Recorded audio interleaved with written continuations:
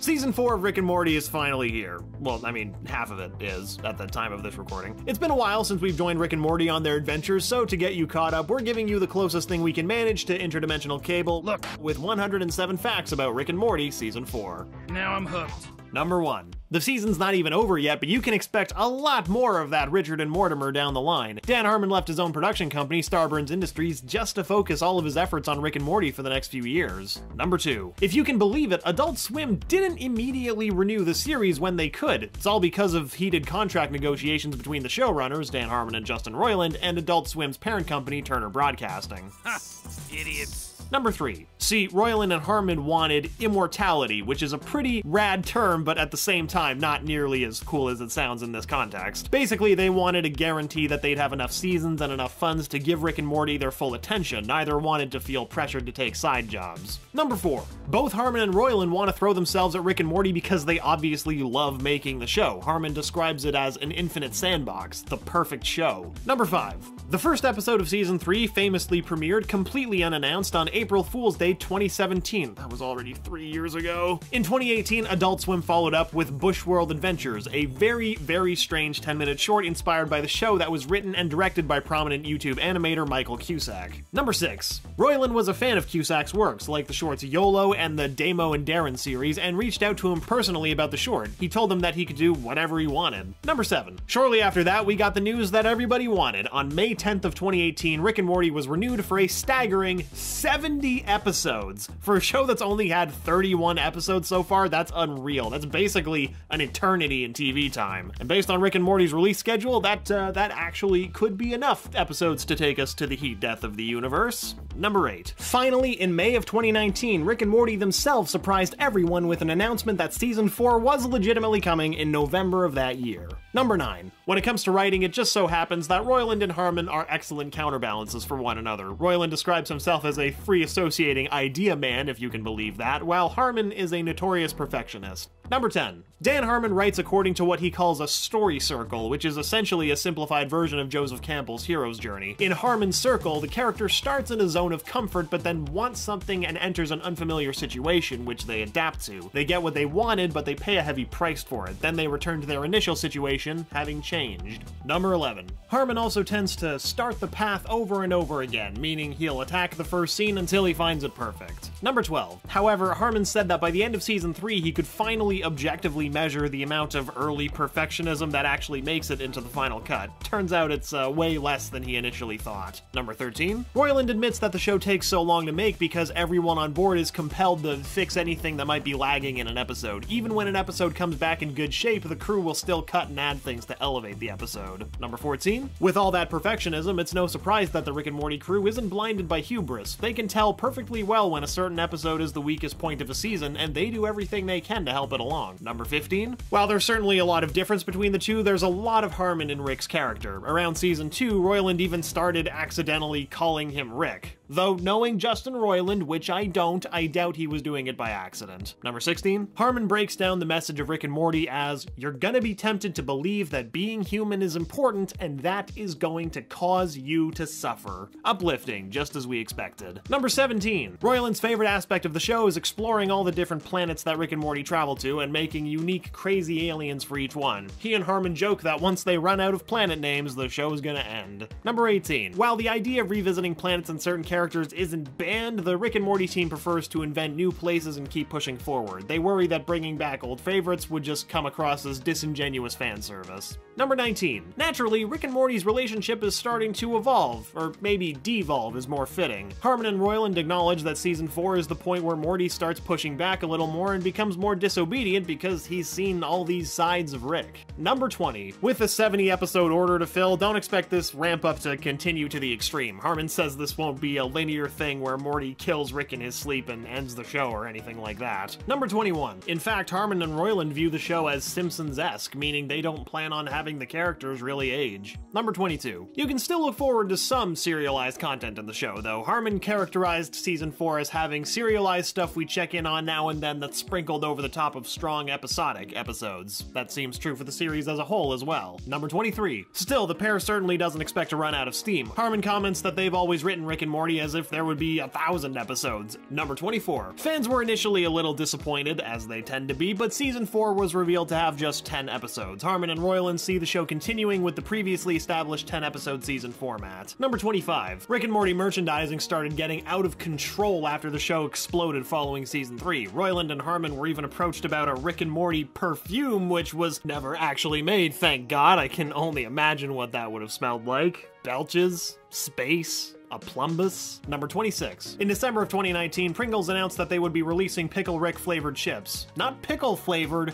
Pickle Rick flavored. Think about that for a second. Number 27. Also in November of 2019, Adult Swim teamed up with car rental group Apturo to bring you the Morty Mobile, an actual car you can actually rent as it tours around the country that has a giant screaming Morty on top of it. Okay? Number 28. If you decide to shell out the cash for the Morty Mobile, the proceeds go to a charity advancing women in technical fields. Okay, it's less weird now that I know that it's going to a good cause. Number 29. In the very first scene of season 4, the writers wanted to be sure to demonstrate that the power dynamic of the Smith family had shifted, namely that Beth was now the head of the household, which of course puts a sudden limiter on Rick. Number 30. If Edge of Tomorty, Rick Die, Rick Pete made you doubt it, Harmon affirms that Rick can in fact die, just not by conventional means. Like vampires vampires and werewolves, there are methods one could use to kill Rick, but of course, that's a secret Harmon's keeping close to the chest. Number 31. Morty's plotline in the episode was written to be a metaphor for a rather deep existential dilemma. If you're playing it safe your entire life, are you ever actually living? But in a true, seemingly paradoxical Rick and Morty fashion, that's what causes him to mess around with crazy sci-fi weapons in Rick's garage. Number 32. Morty's subplot eventually becomes an Akira type situation, and a news ticker even refers to him as Akira Boy. Both are referencing Kazuhiro Otomo's classic 1988 anime masterpiece, Akira. Number 33. The Akira references go way deeper than just a few name drops, though. Both Morty and Akira Central Troubled Teen Tetsuo, or Tetsuo,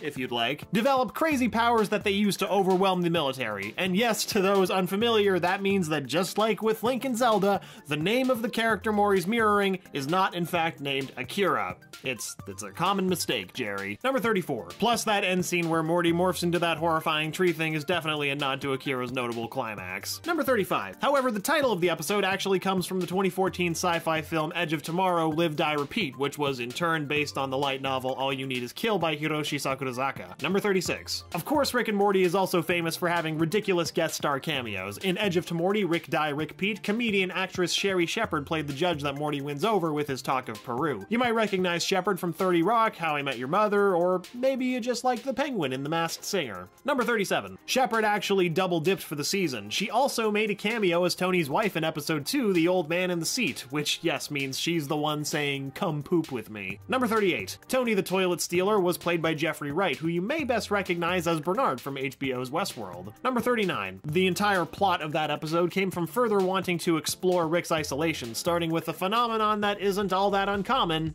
being a shy pooper. Number 40. The team all thinks of Tony as a genuinely good person. His attempt to reach out to Rick in friendship and Rick's rejection were crafted to turn the story into one about Rick's capacity for friendship. Number 41. Come to think of it, that was a super celebrity packed episode. There was also Rick's intern Glootie, who was played by Taika Waititi, the Oscar winning writer, director, actor known for films like What We Do in the Shadows, Thor Ragnarok, and Jojo Rabbit. Number 42. Glootie's boss, the Monogatron leader, is played by Sam Neill, who played Dr. Alan Grant in Jurassic Park. A bit of a shame they didn't get him for Anatomy Park, but better late than never. Number 43. The Monogatron Queen is played by Kathleen Turner. She's taken the lead in classics like Romancing the Stone, but she's also the semi-uncredited voice of Jessica Rabbit. Number 44. In One Crew Over the Coup Crew's Morty, Rick's disdain for the heist genre is on full display. That's one of Rick's qualities that is 100% based on Dan Harmon. In fact, Harmon encouraged Roiland to watch some heist movies just to point out how ridiculous they were, and Roiland ended up totally agreeing. Number 45. However, you may be relieved to know that the episode's writer, Caitie Delaney, actually does enjoy heist movies, so it wasn't entirely bred of cynicism. Number 46. And yes, that was actually Elon Musk providing the voice for his tusked cartoon counterpart, Elon Tusk. Number 47. Elon Musk has long been a huge fan of the show. He even engaged with the Rick and Morty Twitter account after the season 3 finale to compliment the episode and talk about singularities. Harmon quickly added that Musk was welcome on the show anytime. Number 48. Musk changed his Twitter name to Elon Tusk back in February of 2019. Considering his episode didn't premiere until November, you'd think that we would be confused by Elon Musk's Twitter decisions, but he's made far weirder Twitter posts, so this actually seemed kinda normal for him. Number 49. Everything's chummy with Elon Tusk, but Rick and Morty have a famously bizarre relationship with Kanye West. It all started in May 2018 when Kanye tweeted that Rick and Morty was his favorite show and he'd seen every episode at least five times. Number 50. Things escalated when in June of 2018, Roiland recruited his friends Chaos Chaos to record a very, very strange and wonderful birthday song for Kanye featuring Rick doing things to Kanye in his sleep. Number 51. The ultimate unexpected turn came when Harmon and Roiland not just offered Kanye a guest appearance, but his own episode. Nothing's come of the offer yet due to scheduling, but both parties are serious about collaborating. Number 52. Daniel Radcliffe also has an open invitation to come on the show, do a voice, and just hang out in the writer's room. Apparently, he's also a huge fan. Whatever. Anyway, back to people who have actually appeared on the show. Number 53. The talking cat from Claw and Hoarder Special Victims Unit was voiced by Matthew Broderick. Broderick finally returns to felines after voicing Simba in the OG Lion King. A- adult Simba, not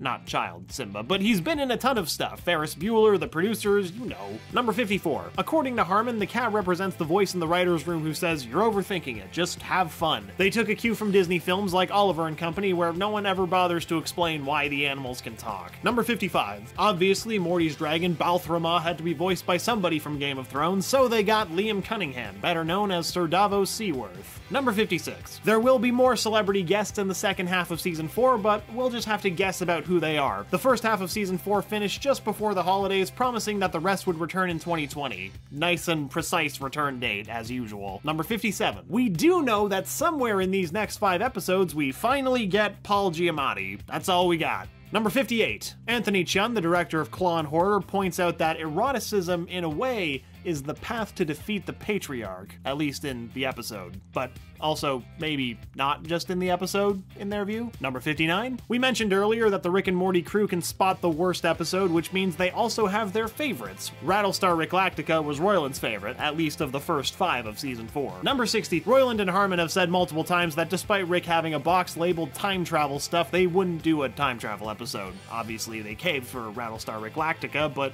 But, like. Did they? Number 61. Actually, the idea behind the episode had been around since season 3, but they had trouble cracking the episode back then. But it was always going to start with getting a flat tire in space and a snake in an astronaut suit. Number 62. The team was able to flesh the premise out into a full episode once they gave it a time travel Terminator twist. They figured that diving into a society of snakes was also pretty dumb, so why not also give it the dumbest possible plot device? Time travel. Number 63. As Morty's dying of snake venom, Rick jokes that he looks like a 90s Japanese ghost. That's a callback to horror films like The Ring, the original one, Ringu, or The Grudge, the original one, Ju-On, which came out in 1998 and 2002 respectively, but whatever. Morty's not quite that pale, but we understood that reference. Number 64.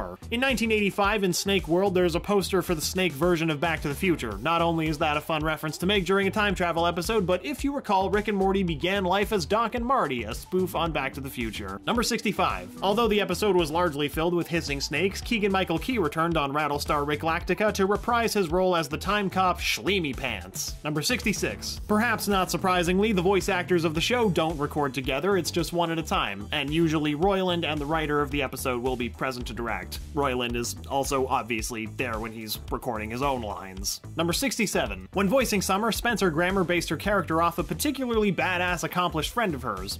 Summer's a not yet successful teenager, so Grammer imagined her friend was nerdy and was still trying to find herself as a woman. Number 68. Grammer says that Summer's character in a script will change a little bit after a Dan Harmon pass. Namely, she'll get more intention behind what she does. Number 69. The 2019 Adult Swim Festival featured an exclusive advanced screening of the season 4 premiere, which at the time was a pretty big deal, it was obviously highly anticipated. Number 70. Meanwhile, Roiland has a ton of things happening outside of Rick and Morty. He's teaming up with the executive producers Robot Chicken for a short form claymation show called Gloop World, which will be available on the streaming service Quibi. Number 71. Gloop World isn't some spur of the moment idea either. It's a show that Roiland has been trying to make for seven years. He describes it as a tactile clay animation show with a mysterious, weird, and expansive world and really fun characters, fingerprints and all. Number 72. Additionally, Roiland and Rick and Morty writer producer Mike McMahan have a two season contract with Hulu for a comedy about an alien family moving to Earth called Solar Opposites. The first season will premiere on May 8th of this this year by the latest reports. Number 73. By the way, McMahan is also working on helming an animated Star Trek series for CBS All Access called Star Trek Lower Decks. It's a perfect fit for him. McMahan's cat is named after the Star Trek character Riker, and his son is named Sagan after Carl Sagan, of course. Number 74. Roiland and his video game company, Squanch Games, have also made use of the time between seasons. On February 6th of 2018, they released Accounting, a virtual reality game about uh, being an accountant, and nothing else. Nope, no additional content or deep rabbit holes or Easter eggs to dive down here whatsoever. Number 75. Only five months after the release of Accounting, Squanch Games released yet another VR game, Dr. Splorchy Presents Space Heroes. It's a simpler mobile experience that went on sale for just $5. Number 76. Squanch Games returned to high-end VR in 2019 with their biggest release yet, the full-length game Trover Saves the Universe. The game has been described as an extended Rick and Morty episode with new characters, so if you're watching this video, you'll probably like it. Number 77. Unlike the other games, Trover Saves the Universe is additionally available in a non-VR format. You can even get it for the Nintendo Switch. Number 78. Harmon and Roiland have assured fans that long waits are a thing of the past. In other words, the gap between seasons 3 and 4 will be the longest gap between Rick and Morty seasons ever.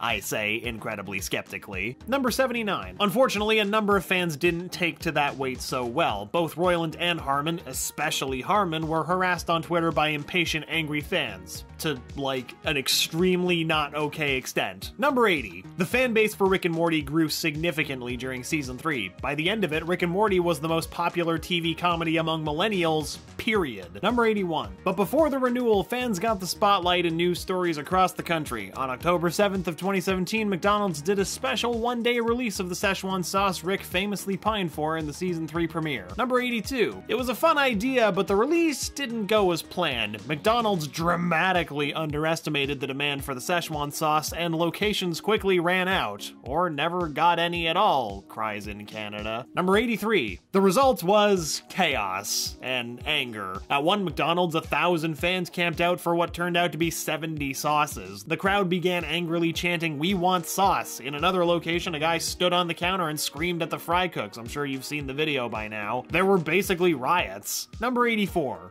Some people were able to make a quick buck off the whole situation, though. The next day, packets of Szechuan sauce appeared on eBay running between 60 and a thousand bucks. Number 85. One leftover packet of Szechuan sauce from 1998 was being bid on for upwards of $99,000 in early 2017. Number 86. Anyway, the response was so intense that McDonald's promised to release the sauce again and for a longer time the following winter. They had 20 million packets in tow the next time, so no riots, and there was much rejoicing. Number 87. The vocal part of the fan base took up a new cause after the Szechuan sauce debacle, harassing season 3's two new female writers online and blaming them for what they felt was a decline in Rick and Morty's quality. And yet, uh, Jessica Gao wrote Pickle Rick, so number 88. Harmon and Roiland both, of course, denounced this kind of behavior. Harmon was additionally concerned that once the title of your show becomes a way of describing a demographic, that is toxic. But to be fair, you have to have a very high IQ to understand Rick and Morty, as has been mentioned in the comments of the many Rick and Morty cartoon conspiracies we've done. Number 89. In fact, the fascist Morty who demands at gunpoint that he and Rick go on classic adventures free of politics in the season 4 premiere is in all likelihood a not so subtle dig to this contingent of Rick and Morty's fan base. Number 90. Thankfully, Rick and Morty has more going for it than just fan drama. Notably, the show released a soundtrack through Sub Pop Records on September 28, 2018. Number 91. In addition to classics by the show's composer, Ryan Elder, the soundtrack includes songs from the show by Chaos Chaos, Blonde Redhead, Mazzy Star, and more. There are also new songs by Clipping and Chad VanGaalen. Number 92. Mega fans can also buy a deluxe vinyl set, which includes a fancy green colored vinyl as well as a poster, patch, sticker, bonus single, and cassette.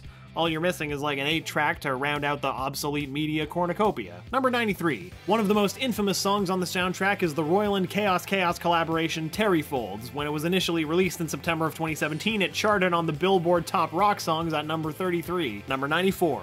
Getting on Rick and Morty also caused a huge spike for blonde redheads for the damaged coda. You might know it better as that Evil Morty song. In fact, when the song re-emerged in the show during season 3, it reached number 15 on Billboard's rock chart 17 15 years after it was initially released, and I've listened to it on Spotify no less than 4,000 times. Number 95. Bands like Blonde Redhead and Mazzy Star show up in Rick and Morty by Harmon and Roiland's personal requests. They both love 90s shoegaze. Number 96. Elder's main influence for the show's iconic theme song was a mix of a few surprising sci-fi shows. There's Doctor Who, of course, but also Farscape and Invader Zim. And now that I've said that, I can I can I can really hear the Invader Zim inspiration. Number 97. Actually, Elder's theme was originally written for Dog World, a completely different Roiland show that never made it to air. The song was just a placeholder for Rick and Morty, but the entire team fell in love with it. Number 98. One of the most memorable songs from the show is Goodbye Moon Men, which is sung by Flight of the Conchords' Jemaine Clements. The team only had 20 minutes to get Clements' vocals on the song after he'd recorded all of his lines for Fart, but Clements' such a pro that Elder just used his first take. Number 99. Elder gets a ton of free agency on Rick and Morty, much more than a composer gets on the average show. Most shows dictate where they want the music to go, but Elder largely gets to make that decision himself. Then he tweaks everything in collaboration with Harmon and Roiland after his first pass. Number 100. Since Roiland actually has a background as a musician, he tends to be the one who gives more notes to Elder. Roiland often wants to experiment with the music, but Harmon is more of a this doesn't work type when it comes to that kind of stuff. Number 101.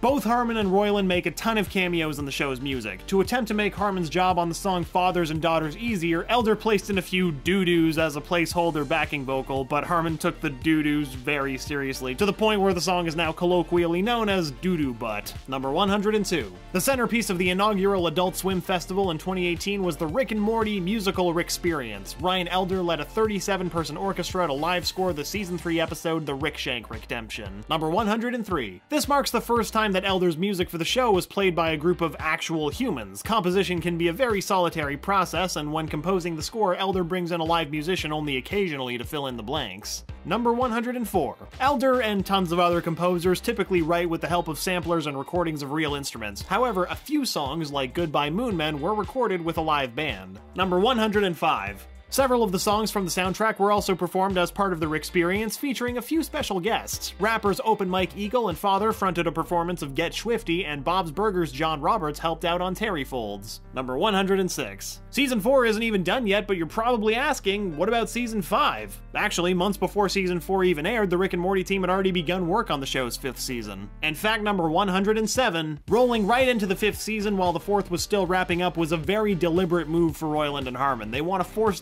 themselves to commit to a quicker schedule under the new contract. Though for now, we do still have to wait before we can enjoy the rest of Season 4, but at least we know that Season 5 is coming, and if you can't wait for the next video on Channel Frederator, then make sure to subscribe, hit the bell icon, you know all this stuff. I've been your host Jacob, thanks for watching, and of course, Frederator loves you.